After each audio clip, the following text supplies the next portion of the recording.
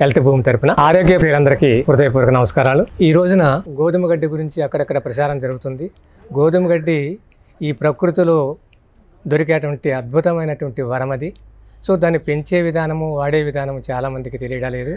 దాని గురించి దానివల్ల లాభాలేంటి నష్టాలేంటి తెలుసుకోవటం కోసం అది ఎలా పెంచాలి ఎలా వాడాలి అనే దాని గురించి మనం ఈరోజు తెలుసుకుందాం.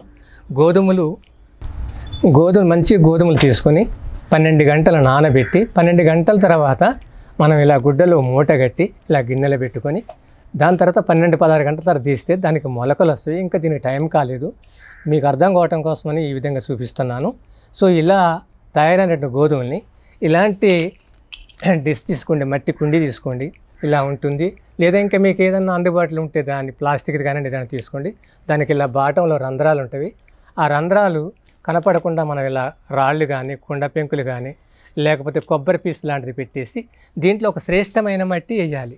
మట్టి అంటే మీకు అందుబాటులో ఉన్నటువంటి మట్టిని తీసుకోండి సో ఆ మట్టి మూడు శాతము ఎరువు మూడు శాతం ఉన్నటువంటి మట్టిని మీరు వాడండి. మట్టి మెత్తగా ఉండాలి కుంకుమలాగా ఉండాలి. ఇది చూడండి మట్టి ఎలా ఉందో. ఇది మాకు దొరికేటువంటి ఇక్కడ మాకు స్థానికంగా దొరికేటువంటి మట్టి. దీంట్లో ఇది మట్టి మూడు భాగాలు ఎరువు ఒక భాగం తీసుకున్నటువంటి మట్టి ఇది. ఇక్కడ మాకు అందుబాటులో దొరుకుతున్నటువంటి మట్టి. ఈ మట్టిని ఇలా మెత్తగా కుంకుమలాగా మెత్తగా ఎలాంటి రాళ్ళు రప్పలు లేకుండా పెళ్ళలు లేకుండా తీసుకొని ఈ మట్టిని మనం ఈ విధంగా పెట్టుకున్నటువంటి కుండీలో ఇలా రాళ్ళు పెట్టాం కదా రాళ్ళు పెట్టడానికి కారణం ఏంటంటే ఒకవేళ ఓవర్ మనం ఎక్కువ నీళ్ళు పోసామంటే అవి కిందికి దిగిపోకుండా కోసం కారిపోకుండా కోసం రాళ్ళు అడ్డం పెట్టాము. ఇలా దీన్ని నింపుకోవాలి. ఇలా నింపుకున్న తర్వాత మీరు మంచిగా రాళ్ళు లేకుండా చూసుకొని ఇలా తిన్నగా. ఒక అంగుళం గ్యాప్ ఉండేటట్టుగా మనకి కుండీకి కనీసం ఒక అంగుళం వెళ్తుండేటట్టుగా నింపుకొని సమానంగా చేసుకొని మనం ఏదైతే నానబెట్టుకొని మొక్క కట్టినటువంటి గోధుమలు ఉన్నాయో ఆ గోధుమలు చక్కగా తీసుకొని ఇలా చక్కగా వేయాలి.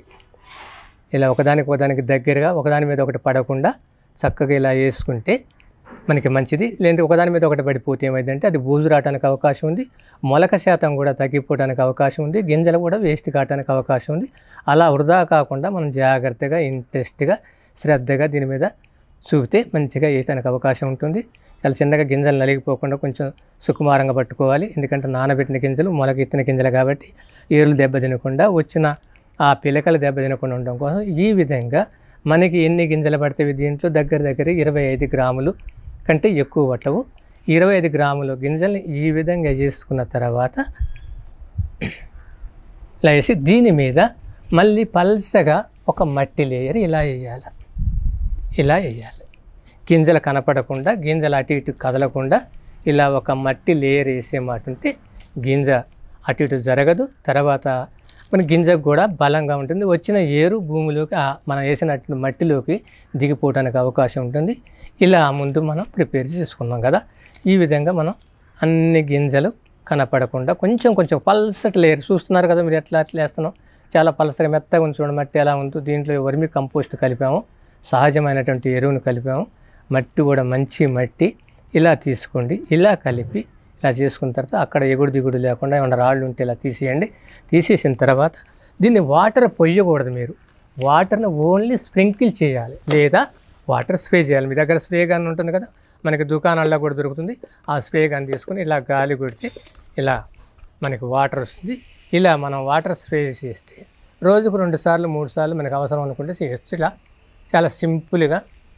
ఇప్పుడు ఈరోజు మనకు ఆదివారం అనుకోండి సపోజ్ ఆదివారం నాడు వేసినటువంటి గింజలు మనకి శనివారం నాటికల్లా మొలుస్తాయి.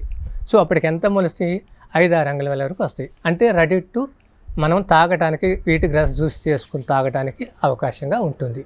సో అప్పటి వరకు మళ్ళీ తెల్లారి ఈరోజు వేసాము కదా తెల్లారి ఒక కుండి ఆ తెల్లారి ఒక కుండి ఇలా రోజు ప్రతిరోజు కూడా ఇలా చేసుకుంటూ పోతుంటే మనకి మంచిది. మనకి అవసరానికి కూడా ఉపయోగపడుతుంది. ఇలా విత్తనాలు వేయటంలో జాగ్రత్తలు తీసుకునేమాట. అంటే దీంట్లో ఇంకోటి అంటే ఎలాంటి రసాయనిక ఎరువులు కానివ్వండి క్రిమిసంహార మందులు కానివ్వండి వాడకుండా ఉంటే చాలా మంచిది ఉత్తమమైన మార్గం అది. ఎందుకంటే దానివల్ల ఉపయోగం లేదు సరిగదా? మనకి నష్టమే ఉంటుంది. సో ఈ విషయాన్ని మాత్రం తప్పనిసరిగా మీరు గమనించాలి. రసాయనిక ఎరువుల జోలికి పోకుండా సహజమైనటువంటి ఎరువులు ఏవైతే ఉన్నాయో పశువుల ఎరువు కానివ్వండి వర్మీ కంపోస్ట్ కానివ్వండి కంపోస్ట్ కానివ్వండి మీకు అందుబాటులో దుకాణాల్లో కూడా ఈ మధ్యన దొరుకుతున్నాయి కదా వాటిని తీసుకొచ్చుకొని వాడుకున్నా కానీ మంచి ఫలితాలు ఉంటవి. సో ఈ విధంగా మన ఆరోగ్యం కోసం మనం కొంచెం శ్రమ పడటంలో తప్పు లేదనే భావంతో ఈ విధంగా చేసుకోమని మనం చేస్తున్నాం.